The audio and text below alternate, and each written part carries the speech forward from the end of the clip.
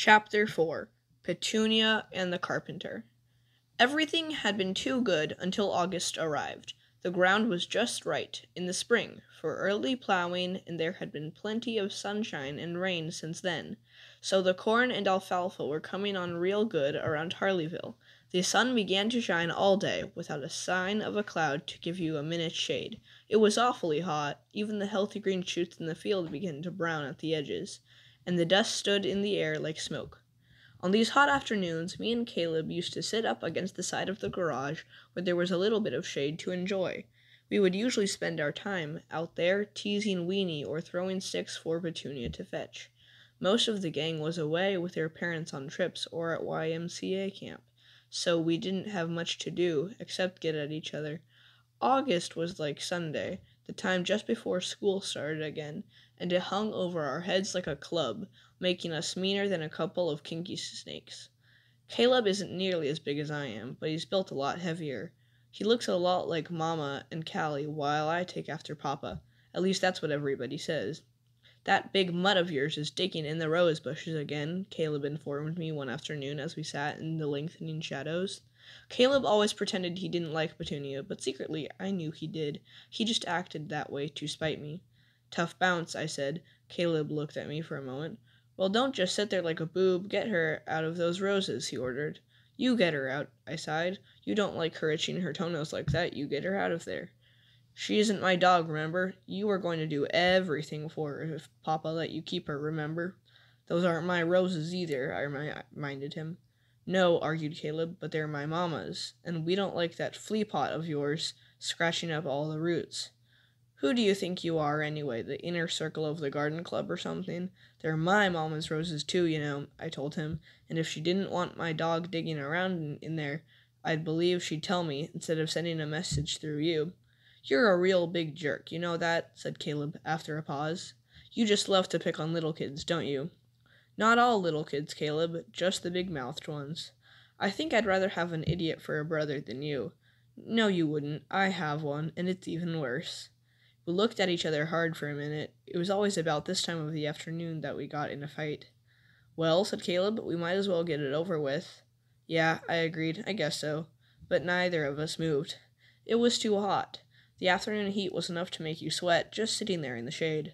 So we just sat there and thought about fighting while we watched the men put down sod in the front yard of the new house next door.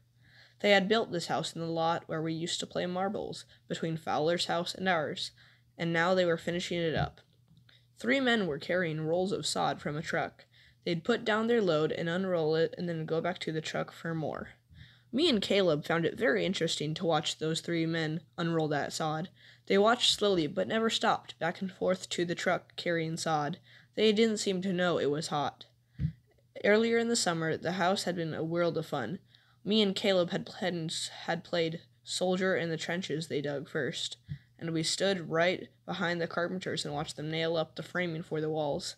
Later, we climbed around in the rafters and played Tarzan and wrote our initials in the concrete that they poured for the basement. And then one day, the boss carpenter who drove a red truck told me and Caleb to go home and stay home. So we didn't go back anymore, since that was the way they felt. They locked the place up at night now, anyway. Two carpenters were still working on the kitchen cabinets, though. We had seen them through the windows and heard them singing while they worked. Carpenters may, seem to be a very happy group of men. Maybe I'll be one. After we had sat there against the garage wall and listened to the carpenters singing and watched those three men unroll sod, me and Caleb forgot about fighting. When do you think they'll move in? Caleb mused. Soon, I guess, I, I answered. I wondered if our new neighbors will have any kids, said Caleb. I don't know, I said. Once I saw a man with a mustache and a skinny woman, his wife, I guess. I think they are the owners. They came around to look at the place. I don't see any kids, though. Caleb had been messing around with a piece of 2 by 4 that had somehow gotten out of Papa's lumber pile in the garage. All of a sudden, he stood up and heaved that piece of board with all his might at the new house next door. Hey, Petunia! Fetch, girl, fetch it! he hollered as he threw. The two by four hit on a little porch which stood just just outside the side door of the new house. The board slid right in through the door and vanished into the house where those two carpenters were working and singing. Petunia wasn't far behind that two by four either. Caleb stood there and smiled at me. You said to get her out if I didn't like her digging in Mama's roses. Well, I got her out, he said. We both waited and watched the new house for a few seconds. First, the singing stopped and some yelling started, or else that song had some bad words in it. The men carrying sod stopped and stared at the new house like they wondered why it had hollered at them like that. In a minute, Petunia came loping out of the new house. Between her jaws was a carpenter's level, about two feet long, that I guess she'd mistaken for the board Caleb threw, and her feet were all pink from wet paint. A carpenter came running out the door right behind her. Petunia brought the level over to Caleb and dropped it at his feet. She arfed a few times and wagged her tail, waiting for him to throw it back. I think she I think he would have, though, if that carpenter hadn't parted the bridge between the houses and glared at us. Hello, said Caleb. Give me that level back, growled the carpenter. She thought it was a piece of two by four, explained Caleb, so I threw for her to retrieve. So you was the one that threw that beam, said the carpenter. He was getting he was getting red in the face.